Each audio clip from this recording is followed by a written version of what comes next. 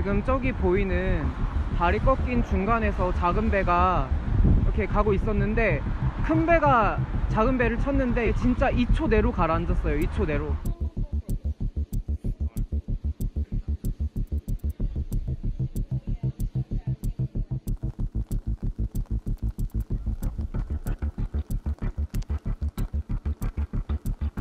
그 소리가 좀 들렸어요.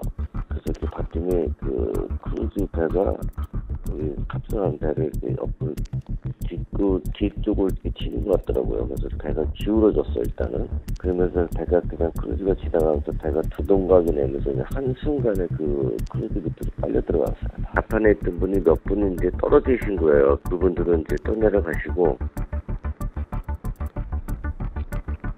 지금 저기 보이는 다리 꺾인 중간에서 작은 배가 이렇게 가고 있었는데 큰 배가 작은 배를 쳤는데 그게 제가 동영상을 봤거든요. 근데 진짜 2초 내로 가라앉았어요. 2초 내로.